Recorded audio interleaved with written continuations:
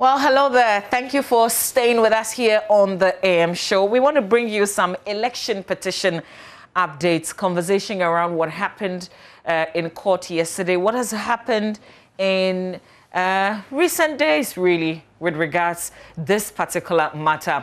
How about all the unanimous decisions so far in the ongoing case? Our election petition update here on Joy News is in association proudly with Petrosol also DBS Roofing and Koa Mixture. My guest is Director of Legal Affairs with the National Democratic Congress, the NDC. Abraham Amaliba is here. Good morning to you. Thank you for being here. Good morning, and good morning to your viewers as well. Mm, great. So, first of all, what's the mood in the camp of the petitioner and then also the NDC? Why do you ask this question? What is it? The mood Why? You've heard that the mood is bad or what? The mood is still what it is before we went to court. We are still upbeat. Um, you know, we are being led by a senior counsel, lead counsel, who, whose resolve and persistence can never be broken by decisions that go against him. Tsikata is one person who believes in procedure, he believes in the rule of law, and above all, he believes in justice. So these are the three considerations that continue to motivate him. So if a man of his age, at that age, can be on his feet for close to two to three hours, just addressing the court, if such a person is not disillusioned, who am I to be disillusioned? So we are taking our inspirations from him because he thinks that we must get to the bottom of this matter. He also thinks that we should explore all avenues available to us under the law and under the rules of law. And so that's why the applications are being turned out. Yeah, but you went the, into this process. I remember we had a conversation the very the week uh, this case was filed and you were quite very positive. Is that still, is the confidence level still very high? Because we kind of see the end of this case in sight, don't we? So you should be careful not to be seen uh, making comments that would prejudice the case. What do you see? Uh, you, you see something I don't see. Aren't we? The question was, we're, getting, we're getting, close to the end of the matter, aren't we? So yes. I'm asking, are you still as confident as you were in the first week before you filed this process? Yes, indeed. There are two courts here. There's a court of public opinion and then the Supreme Court that we are in. And you see, this is not just purely a legal case. This is a political legal case. It has political connotations, political considerations. But what's the underlying issue? You're challenging the validity of a presidential election. Yes. And so what's the issue? And I'm saying that because you say it's not a purely yes, I'm saying that it has. Issue. I'm saying that it has political consequences as well. You can't run away from that. And so we are resolved in our minds as the legal team to go in for the full haul. I have received messages from our supporters and members saying that we should withdraw in some of the newspapers you see that we should pull out. Your members are also, some of your members yes, are also saying you should yes, pull out? Yes, yes. I have received messages. Why are they making those suggestions? Well, Is it because you've lost so many of the applications? It's, it's, it's, it's left to them to, uh, they are watching. They are also judges on their own, so they, they know what they, they, they mean. But we are saying that we shall stay in there, we shall stick in there till this matter comes to a, a final conclusion. We are, I've told you that we are not perturbed about the rulings against us. What we are interested in is to ensure that justice is served the people of this country. When the petitioner went to court, he didn't go to court only on his behalf. He went to court on behalf of the over 6 million people who voted for him. But it's interesting that some of them are saying that he should pull out, that's withdraw the petition. That's why I'm saying that we are those leading the case in court. And we are of the view that being the leaders, we will stick in there to the final conclusion. And so that's what we are doing. On Monday, there's another application. Yes, we will so get there. Um, we would continue to explore all the avenues, and uh, we are not going to shy away from doing that. Once the law allows us to do that, we'll do it. You raised an issue, and I'm curious about it, so if you can explain. You say it has political consequences as well. Can you share? Oh, yes. That, you know, is uh, what led us to the Supreme Court was about the elections that ended uh, on the 7th of December. People queue to vote. Those people are watching the proceedings. Those people are interested in ensuring that uh, justice is done, or they would expect that justice is done. So, as they watch, they also form their judgments. And that's why I'm saying that being a legal matter, it also has a political undertone. And so that's why I, I describe it as political, legal matter, the petition in court. So Ghanaians who killed on the 7th of December are also interested and desirous of coming to terms with the fact that how come that two months after the elections, we still don't know the exact figure for the total valid votes cast? That is something that a lot of Ghanaians will want to know. It has never happened that in an election you go and you come out of elections and you still don't know the total valid votes cast because this figure has changed like five times. And for me, this is what the Ghanaians are interested in knowing. About six rulings so far have gone against you. I think you, you managed to unanimously get the panel to agree to the corrections, uh, making some uh, corrections in, in the main petition initially. But after that decision, every other decision that has followed, the interrogatories, uh, the inspection of documents, um, admission of facts, we, we just went into a review yesterday and that decision also went against the petitioner. That's a lot of unanimous decisions against the petitioner. How does that make you feel as, as part of the team? No, we've, that, we've disagreed with all the rulings against us, and uh, anytime we come out to speak, we show our disagreement. We still believe that, for instance, the interrogatories could have been administered because it, had, it happened in the 2012 elections. So regardless of what the ruling has been, we are still in our resolve that those rulings were wrong.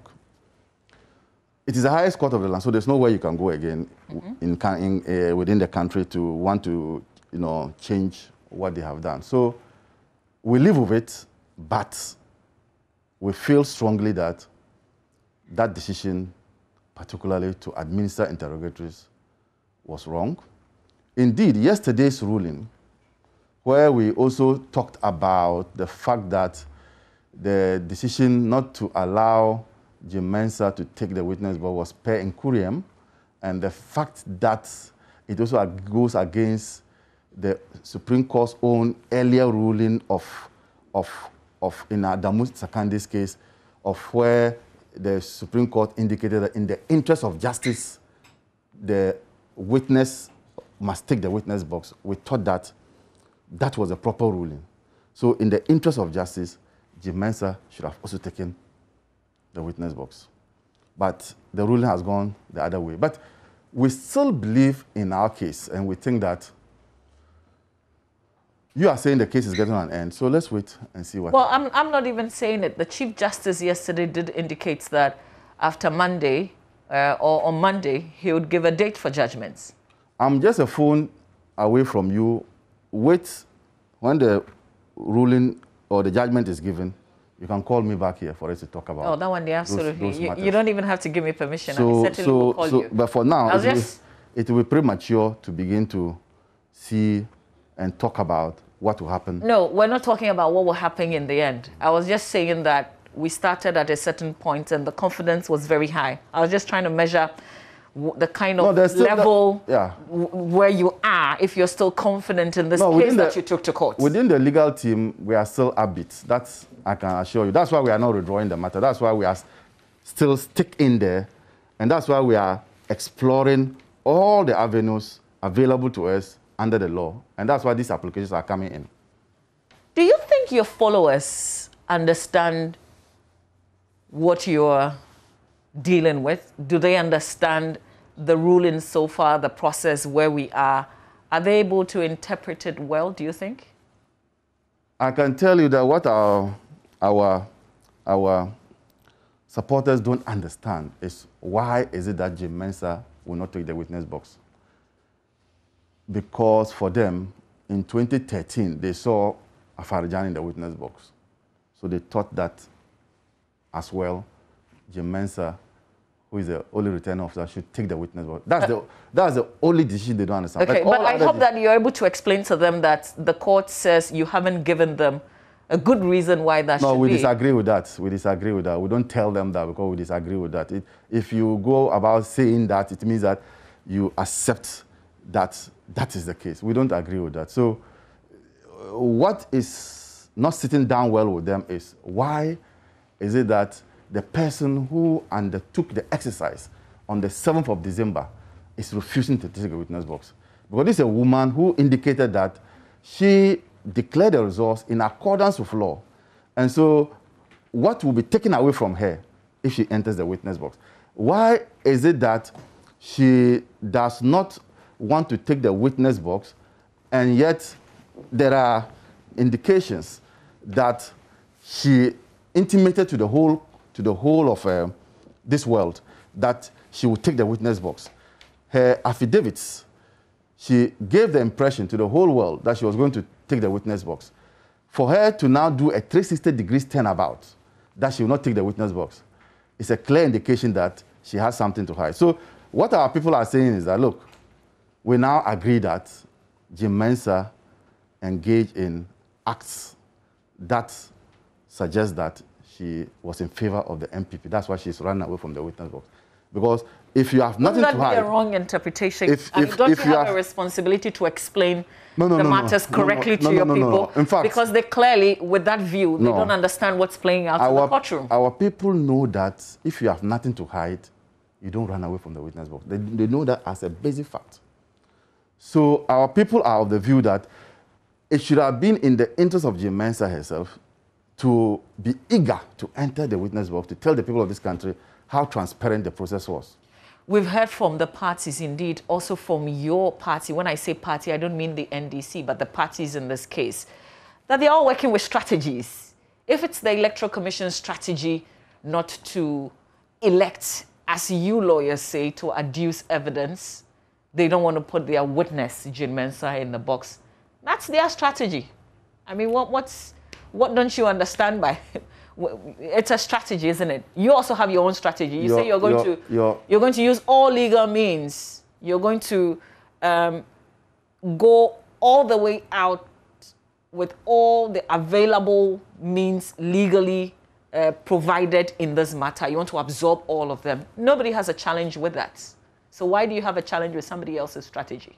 Your strategy should not be to conceal the truth the strategies I've outlined and that we are going through is to get to the ends of justice. Our strategy is not to conceal the truth. So if the EC strategy is that I won't take the witness box because I do not want to open the can of worms that the people of this country will see and begin to question why I conducted my elections this way, then that strategy is inimical to the growth of our uh, democracy.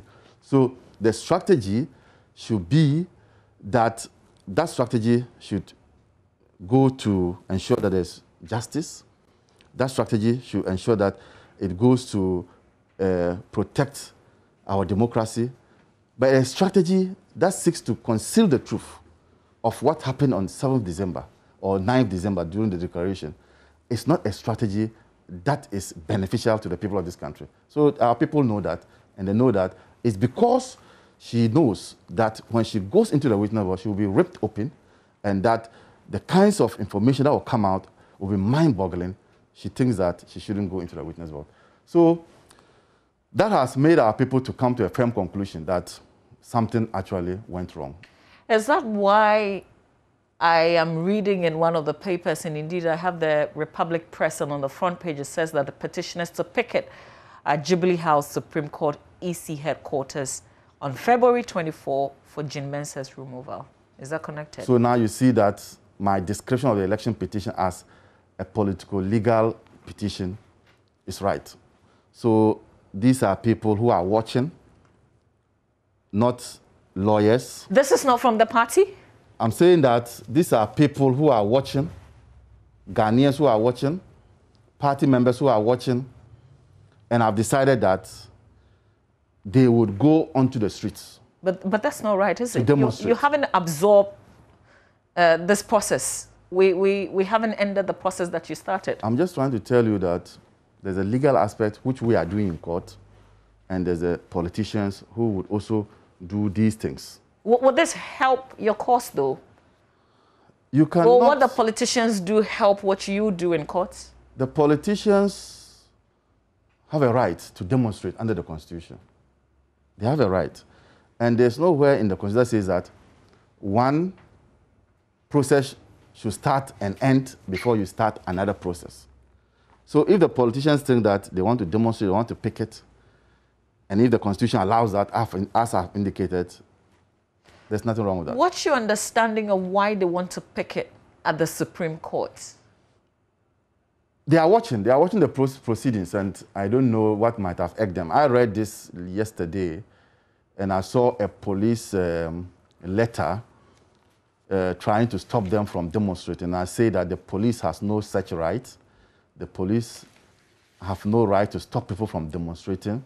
What the police can do is to go to court and secure an injunction against them. But the police, under our laws, have no right to stop any group of people from demonstrating. And so my, So- my advice is that that letter from the police should be treated with contempt. Yeah, but isn't it a bit confusing because you're challenging the validity of a presidential election as declared on the 9th of December, correct? Uh, but then this is towards the removal of the Electoral Commission boss. And I'm saying that, and you are right, it's not about matters in the court.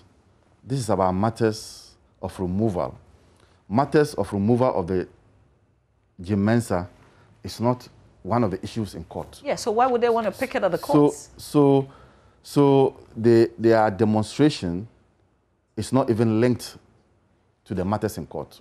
Their demonstration is linked to the president having received a petition and being a conveyor belt this time round, has refused to convey the letter to the appropriate quarters. But in the case of uh, Charlotte Osei, he quickly conveyed it. And so they are saying that why is the president sitting on that petition? And so they are demonstrating against that. So I, I, just want to appreciate the connection with the Supreme there's no connection because that's why I'm saying that this is a political legal matter. The politicians too who are watching are also putting in place certain mechanisms, which is removal of Okay, I, I appreciate that. I just, I'm just curious about the venue, as in the Supreme Court, where they intend picketing. That's, that's what I'm asking. What have they got to do with the removal or, or not of, of the EC chair? No, I, I cannot give you details because I'm not a member of that group. All right. Yeah, so okay. that, the details. There's another issue, and this is on the front page of the Daily Guide, and this is uh, Supreme Court cites Ayine for contempt. I would not have brought it up uh, because yesterday Sammy Gyamfi, the communications officer of the party, dealt with that matter, except that I see it again in the Daily Guide this morning, and they are quite straight that the, they got information from the registrar. So again, maybe there's been an update after Sami communication.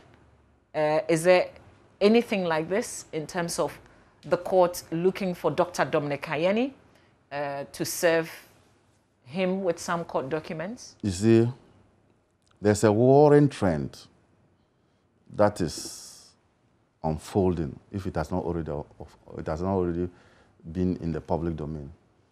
The NPP lawyers have a tendency, and these are young, young lawyers who were just called to the bar, have a tendency of inciting the court against the NDC lawyers. And so they will come out during the press conferences and begin to highlight certain comments and take them out of context, highlight them, and make them look like the NDC lawyers are engaging contemptuous acts. And I cite two of them, Kojo Nkrumah and Nana Bee, these two.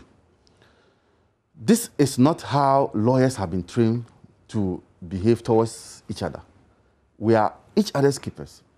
And so for them to persist in this act is most appalling.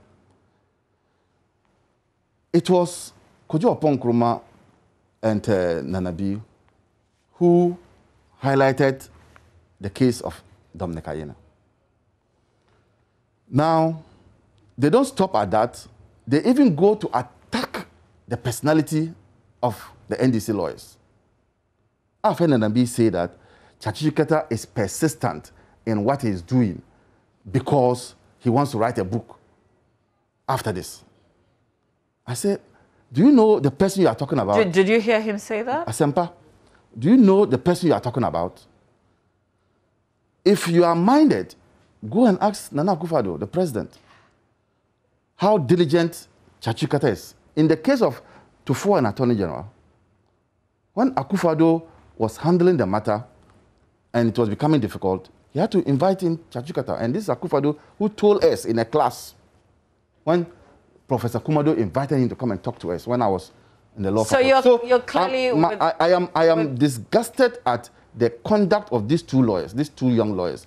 They should learn from their seniors. Okay. Uh, let's bring the conversation to a close. I want to ask, have your side filed your written address? No, but you heard yesterday, our lead counsel made a point that uh, because of these applications that have either been filed or were about to be filed, we did not file our witness statements. And he made that clear to the court. The court then said that they will come back on Monday to deal with all these matters. Um, on Monday, you know that there's a return date for the application for review in respect of the decision of the Supreme Court not to allow us reopen our case. And so, and we've attached to that application a stay of proceedings. So that has been filed in court and the return date is on Monday. So, so we, is that different from the review or both applications are one? No, no. Of proceedings comes before the application for review. And, so, and so you have a, the, the Monday's date on that as well? As, as well. Okay. So both will be taken that same day and then I'm sure they will deal with. So, what are you staying exactly? Which part of the the proceedings? The proceedings where they said we should file with written statements, uh, closing addresses. Okay. Yes, that's a court order, and that is a process ongoing in court. So you need to arrest it. Okay. And then, because if this application succeeds, it will impact on the main case. Okay. So uh, let me understand what you're doing it's not as though you want the court to stay the proceedings and hear the review application and make a determination. That's not. It's to hold the order for the parties to file their written addresses. It is both. So to stay proceedings will mean that because there's an order that will file our written addresses, it will stay that process. And then, secondly, for them to hear our application for review. So it, it plays that double barrel role to hear our application for review. And if that is determined, we can now come back and go through the process again. So that is mm. what is happening. Okay. Is this is Monday the last review application pending? Yes, to the best of my knowledge, uh, the only application for review and the only decision now left hanging that we are aggrieved about is the decision that um, we will not be allowed to open our case. So that is the only decision now that is hanging, which we are aggrieved about and which we want a review. Okay, are you, are you giving the court another reason? Because I, I remember in the original ruling, they said that uh, they were baffled by the fact that you wanted to reopen so you can subpoena the EC chairperson. Yes, and we thought that um, in that ruling, you remember in that ruling when we said we wanted to reopen our case, they sort of described a hostile witness by going to define who a hostile witness is in the Black's Law Dictionary. We are saying that, look, we have a, a statute, we have the Evidence Act, which defines who an adverse witness is.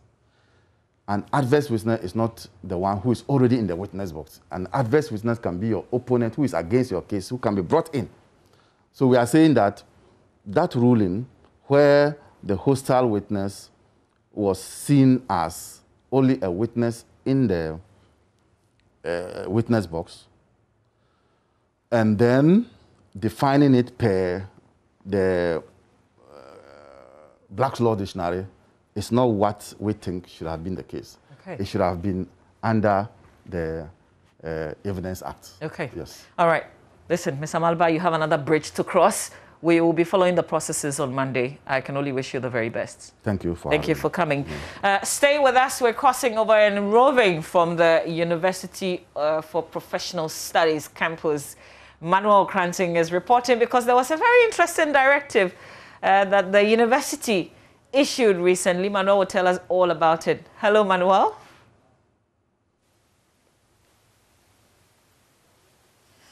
Uh, we, uh, Manuel cannot quite join us right now. We have to take a breather. But there was a, a uh, communication or uh, a release for a prescribed dress code. Uh, there's some things that the university doesn't want to see the young ladies